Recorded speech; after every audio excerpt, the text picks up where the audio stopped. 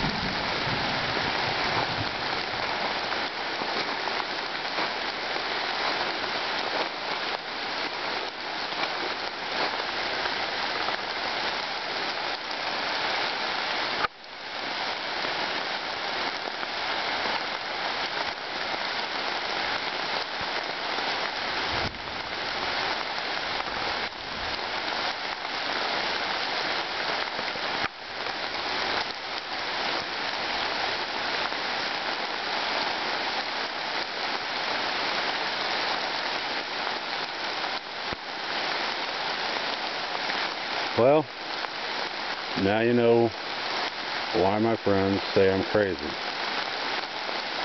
One of the reasons.